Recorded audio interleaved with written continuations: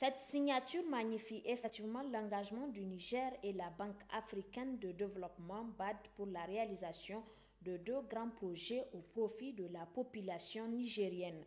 Il s'agit du projet intégré de désenclavement des zones de production transfrontalière Hamadra-Washa Dungas, frontière Nigeria, dont le financement est estimé à plus de 70 milliards de francs CFA et le projet d'appui à l'élaboration d'une stratégie et d'un plan d'action national pour l'emploi des jeunes dans les secteurs de l'agriculture et de l'agroalimentaire au Niger avec comme financement plus de 700 millions de francs CFA.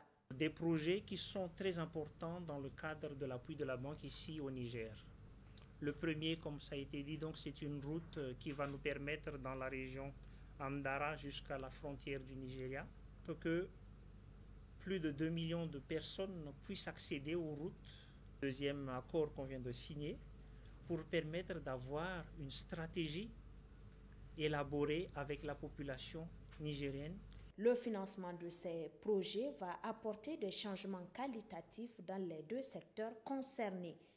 Ce projet consiste à l'aménagement et au bitumage de 110 km de route aux normes IMOA, suivant une approche intégrée. Le coût total de ce projet est évalué à 91,05 milliards de francs CFA. Sur euh, ce coût global, la BAT met à elle seule 71,05 milliards de francs CFA. Le deuxième projet et d'un coût de 789,5 millions de francs CFA, il sera mis en œuvre par le ministère de l'Agriculture pour une durée de 36 mois.